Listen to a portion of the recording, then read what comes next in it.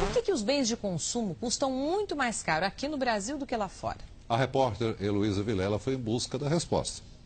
O Brasil é o quarto maior mercado consumidor de automóveis do mundo e quinto produtor.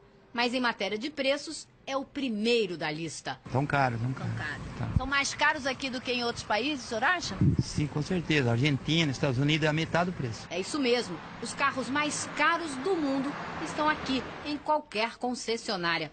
Comparados com os mesmos modelos vendidos em outros países, o Brasil dispara na frente. Por que os brasileiros pagam mais? Imposto, né? Eu sei que eu fui agora há pouco tempo para a Argentina. É um carro que aqui custa 100 mil reais, lá custa 48. Ela acertou. Os argentinos pagam menos, mas a culpa não é dos impostos. É a história do que se colar, colou. O jornalista especializado no mercado de automóveis fez um levantamento detalhado. As montadoras não admitem abertamente, mas estabelecem os preços que acham que os consumidores vão aguentar pagar.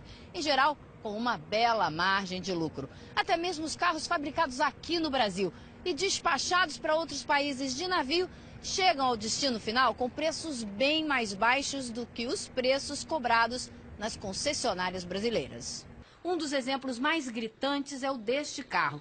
Fabricado em Sumaré, interior de São Paulo, ele custa R$ 25.800 no México. No Brasil, é vendido por R$ 56.200. Joel se deu ao trabalho de descontar os impostos no valor de R$ 16.400, a margem de lucro das concessionárias na faixa de 10% e ainda assim a diferença é de quase 10 mil reais. Custo de vida no Brasil muito mais caro que nos outros países.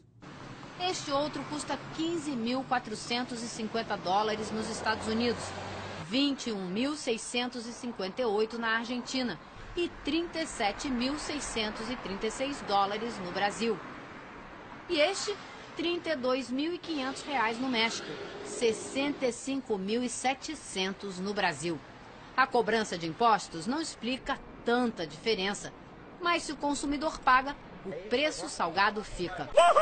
O preço salgado fica.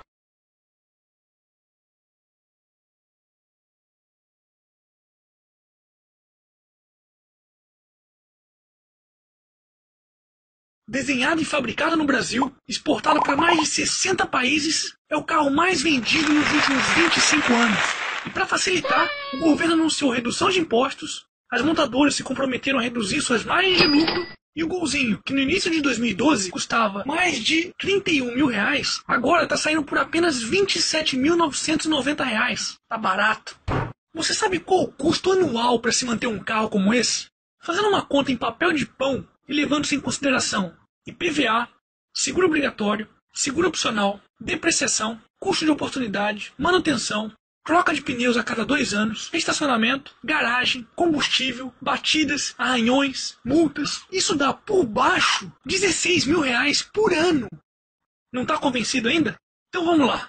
Essa carroça, é, quer dizer, o Gol 1.0 verde boi só é vendido aqui no Brasil, porque só o brasileiro aceita comprar esse lixo. Os modelos exportados possuem motor 1.6, airbag duplo, freios ABS, vidros elétricos e ar-condicionado de fábrica. No Brasil, um carro com essas características sai por mais de 37 mil reais. Mas na Argentina, este mesmo carro, importado no Brasil, sai por cerca de 22.500 reais. E no México, que é muito mais longe que a Argentina, sai por inacreditáveis 18 R$ reais, já incluindo frete e impostos.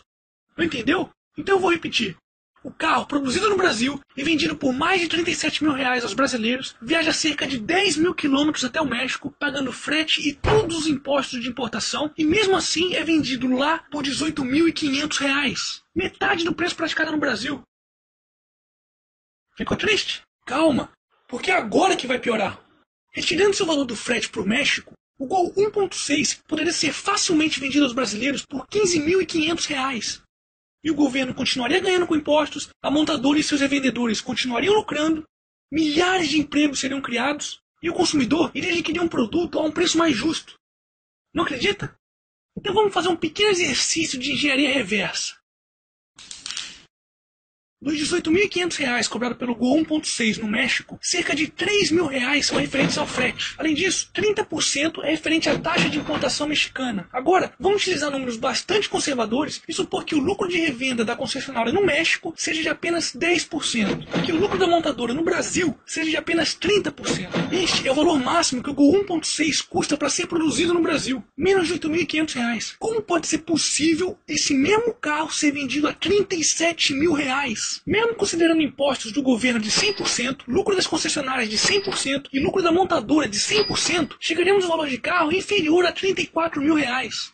E se compararmos com os Estados Unidos, é. Não, não dá para comparar, pois eles não vendem essas carroças por lá. Mas vamos imaginar um Gol 1.6 top de linha com todos os itens opcionais. No Brasil, você pagaria cerca de 52 mil reais por isso. Isso mesmo, 52 mil reais. Mas nos Estados Unidos, por esse mesmo valor, você compraria um Camaro zero quilômetro, que por sua vez no Brasil custa quatro vezes esse valor.